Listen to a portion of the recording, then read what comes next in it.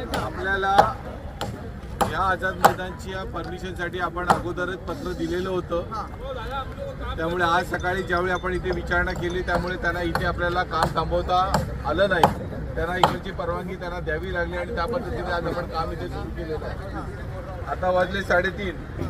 आता त्यांनी मला नोटीस बजावलेली आहे की इकडचं मैदान देखील आम्ही तुम्हाला नाकारत आहोत आणि तुम्हाला याच्या जागे तुम्हाला खारघरचं मैदान हे आम्हाला कदापही मान्य नाही. मराठा क्रांती मोर्चा महाराष्ट्र आणि मुंबईतर्फे उद्या सकाळी इथे दहा वाजता ध्वजारोहण आम्ही करणार म्हणजे करणारच.